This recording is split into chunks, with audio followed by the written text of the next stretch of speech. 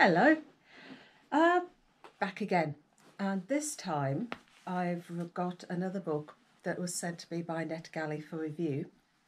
And if I'm holding that in the right place, it's Light Perpetual by Francis Spufford. Uh, he won the Costa with Golden Hill uh, a bit back. I've never read any of his before, so it was interesting to read a new author. That's one thing I'm finding since I started doing these vlogs that my reading has moved away from solely crime fiction into a lot more varied genres. And it's quite exhilarating, really, to, to read different things. Anyway, this one, it's all about, well, to me, it's about second chances. The author writes that in London every day he would walk by a plaque that commemorated the uh, a 1944 V2 attack when the New Cross branch of Woolworths was destroyed.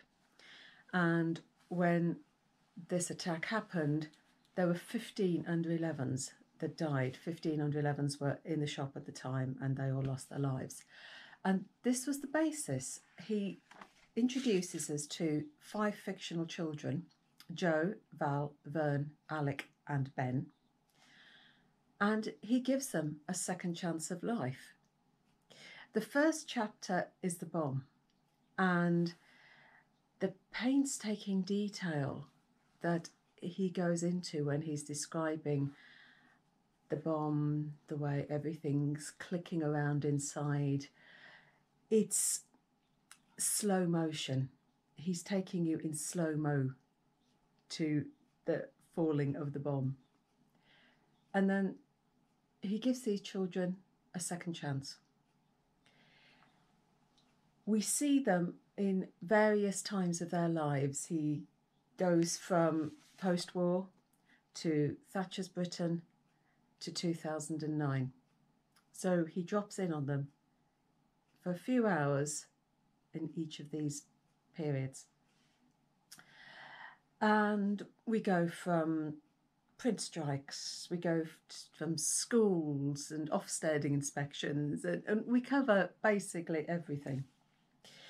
We also look, he also covers mental illness and love, everything that these children have, the children that died did not have would not have had the chance to experience.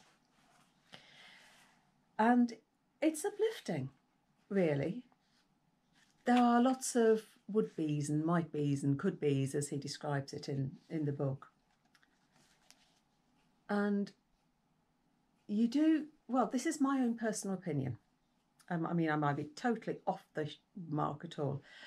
But I wonder whether it's not just a chance to sort of reincarnate these children, but to give them a second chance. And all the while I was reading it, I kept going back to the first chapter and looking at the children and think well, eh, how their future lives had developed from the child that you saw right at the very beginning. And you, while you're reading, have they made the most of their second chance? They've been given a second chance of life did they make the most of it? That that that is my opinion. You've got religion running all through the way through the book. I mean, the the title, Light Perpetual. Um, it comes from the prayer of the dead, may light perpetual shine upon them, and he talks about the we see the consolation that religion can offer, and there's a lovely bit at the back when uh, sorry at the back towards the end of the book when he has this long section about praise him in all the postcodes, praise him all you who hope, all who fear, all who praise him, all who dream, all who remember. And it's this just long list of, of praising him and everybody that should be praising him.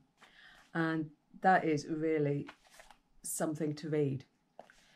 Music is also a thread that runs through the book. Um, we've got Vern who loves opera. We've got Joe who um, loves singing. We've got music in skinhead pubs, musics from teenagers' rooms. There's music running all the way th- through. And we've even got, and this was a bit that I thought was absolutely brilliant. We see a secondary school music lesson, and the way that the teacher, who is one of our characters, layers all the different strands of music to create sound with these teenagers that she's teaching. It's wow. That, that's all I can say. Wow. I love this book and the second chances it gives and the themes that are running through it. My favourite character, well, I'd say Ben with Joe a close second, but when you would get the chance to read this, because it's not published yet, it comes out, I think, next month. I'm not quite sure. I think it comes out next month. If you get the chance to read it, drop a comment in the um, video below and tell me who your favourite character was. But Ben was the one that, that I liked. So, uh, Perpet- sorry, Light Perpetual by Francis Spufford. Um, if you like the video, you know what to do. Like, subscribe, click on the notification bell, and I will see you next time. So take care, happy reading. Bye.